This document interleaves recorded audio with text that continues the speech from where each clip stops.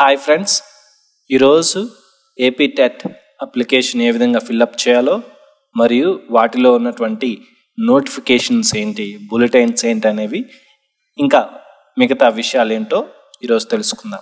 Google Chrome open చేసి AP TET అని type చేయండి. ఎంటర్ చేశాక మనకు ఫస్ట్ కనిపించే లింక్ని క్లిక్ చేయాలి. ఏపీ టెట్ ఏపీసీఎఫ్ఎస్ఎస్ అని. క్లిక్ చేసిన వెంటనే మనకు ఈ పేజీలో ఓపెన్ అవుతుంది. అందులో పేమెంట్ ఆప్షన్ ఎనేబుల్డ్ అని చూపిస్తుంది. కిందన మీరు దయచేసి దరఖాస్తు చే చేయదలుచుకున్న వారు పేపర్స్ అన్ని ఒకేసారి ఎంచుకొని బిల్ పేమెంట్ చేయాలి. అప్పుడే మీకు ఫర్దర్గా మీరు ఏ సబ్జెక్ట్ పెట్టుకోవాలో సబ్జెక్ట్కి అవకాశం ఉంటుంది. ఫస్ట్ మనకు చాలా విషయాలు ఉన్నాయి సిలబస్ ఏంటో తెలుసుకుందాం. క్లిక్ హియర్ అని దాని మీద క్లిక్ చేసిన వెంటనే మనకి ఈ పేజ్ ఓపెన్ అవుతుంది. It is taking time okay.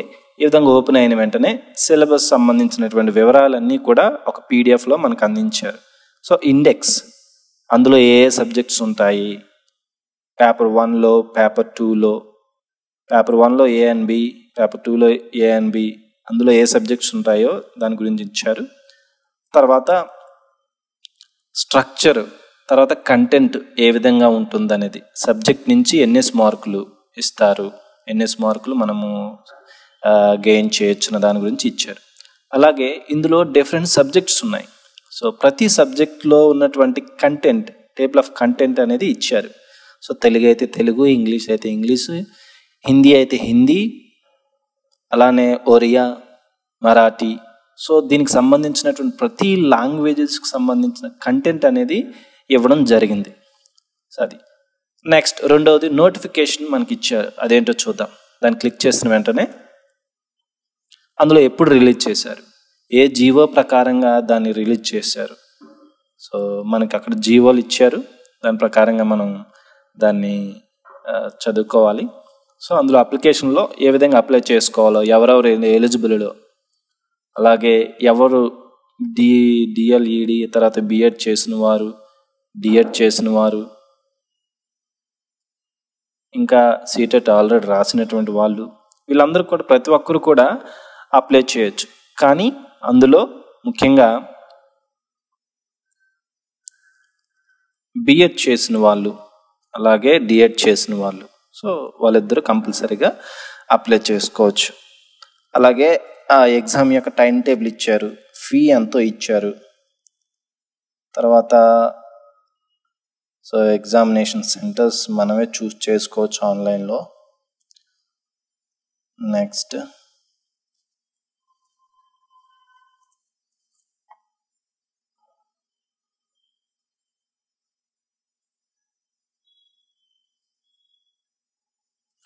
so structure and content ఏ విధంగా ఉంటుందో మళ్ళా ఎక్స్ప్లెయిన్ చేశారు నోటిఫికేషన్లో పేపర్ వన్ అండ్ టూ తర్వాత అందులో ఏముంటుంది?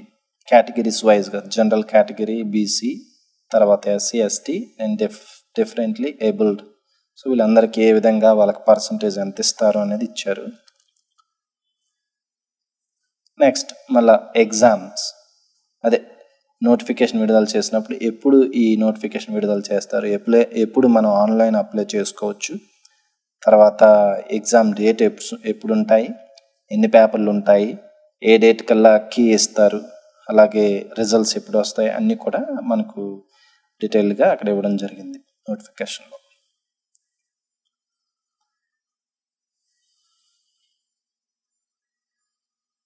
నెక్స్ట్ సో ఇన్ఫర్మేషన్ బులెటిన్లో ఏముందో చూద్దాం.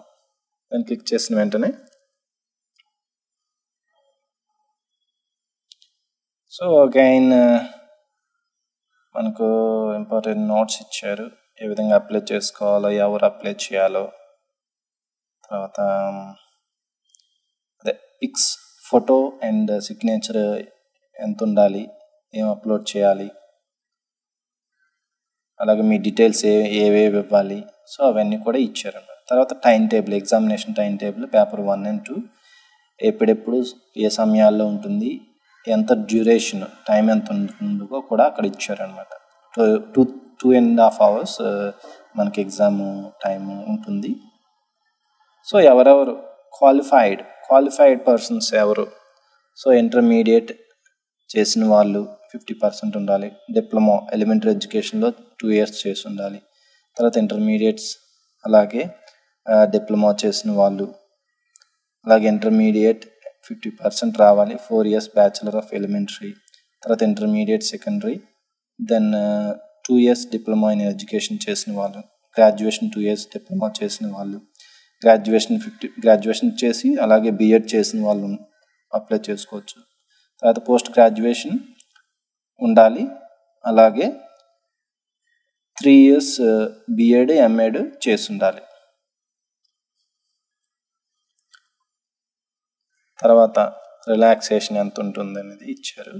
మినిమం క్వాలిఫికేషన్ పేపర్ వన్కి ఏమి ఇచ్చారు? ఇంటర్మీడియట్ చేసి ఉండాలి డిఎడ్ చేసి ఉండాలి అలాగే బిఎడ్ చేసి ఉండాలి పోస్ట్ గ్రాడ్యుయేషన్ చేసి ఉండాలి జూనియర్ డిప్లొమా టీచింగ్. అలాగే డిసేబుల్కి సంబంధించినటువంటి బిఎడ్ చేసి ఉండాలి. సో వీళ్ళు మాత్రమే దానికి ఎలిజిబుల్. అలాగే పేపర్ టూకి ఎవరు ఎలిజిబుల్లో కూడా ఇక్కడ ఇచ్చారు. సో ఇంటర్మీడియట్ తర్వాత డిఎడ్ చేసి ఉండాలి డిప్లొమా చేసి ఉండాలి. అలాగే గ్రాడ్యుయేషన్ పోస్ట్ గ్రాడ్యుయేషన్ కూడా చేసి ఉండాలి అనేది ఇక్కడ క్లియర్గా మనకి ఇస్తున్నారు. సో బీఎడ్తో పాటు పోస్ట్ గ్రాడ్యుయేషన్ కూడా చేసి ఉండాలి. చేసినట్లయితే మనకు కొద్దిగా సెకండ్ పేపర్ రాసుకోవడానికి అవకాశం ఉంటుంది. తర్వాత లాంగ్వేజ్ టీచర్స్ లాంగ్వేజ్లో లాంగ్వేజ్ సెలెక్ట్ చేసుకోవాలనుకున్న వాళ్ళకి కూడా పర్టికులర్ అక్కడ ఇచ్చారు. పోస్ట్ గ్రాడ్యుయేషన్ ఉండాలి బిఎడ్ ఉండాలి అలా ఇవి ఉంటేనే దానికి అప్లై ఎలిజిబుల్ అవుతాం అనమాట సో మనకు నెక్స్ట్ ప్రతి సబ్జెక్ట్ నుండి ఎన్నెన్ని మార్క్స్ ఇస్తారు ఎన్ని క్వశ్చన్స్ ఇస్తారు. సో ఆ క్వశ్చన్స్కి తగ్గట్టుగా ఉంటాయి. అలాగే ఎదుగో నెక్స్ట్ మళ్ళీ పేపర్ వన్ అండ్ టూలో ఏ ఏ సబ్జెక్ట్స్కి ఎన్నెన్ని క్వశ్చన్స్ ఇస్తారు ఎన్నెన్ని మార్క్స్ ఉంటాయి అలా ఆ విధంగా వన్ ఫిఫ్టీ మార్క్స్ మనకు ఇవ్వడం అనేది జరుగుతుంది. అలాగే ఈ పేపరు ఏ మీడియంలో ఉంటుంది? తెలుగు కానీ మెయిన్ ఇంగ్లీష్లో ఉంటుంది. మనకు కావాల్సిన లాంగ్వేజ్లో సెలెక్ట్ చేసుకోవచ్చు. తెలుగు అయితే తెలుగు హిందీ అయితే హిందీ ఏ ఇతర లాంగ్వేజెస్? తర్వాత ఫీ ఎంత? సో దానికి ఫీజు ఎంత? ప్రతి సబ్జెక్ట్కి ఒక సెలెక్ట్ చేస్తే ఐదు వందల చొప్పున వాళ్ళు కలెక్ట్ చేస్తారు. సో ఆన్లైన్ అప్లై చేసేటప్పుడు అది కంపల్సరీగా ఫైవ్ హండ్రెడ్ చెల్లించాలి. తర్వాత సో లీగల్ ప్రొసీజర్స్ మళ్ళీ అగైన్ టైం టేబుల్ అనేది ఇచ్చారు.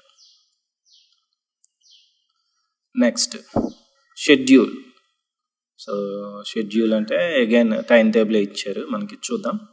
సో పదో తారీఖున అనౌన్స్ చేశారు ఫిఫ్టీన్త్న రిలీజ్ చేస్తామని చెప్పారు సిక్స్టీన్త్ నుంచి ఇచ్చారు.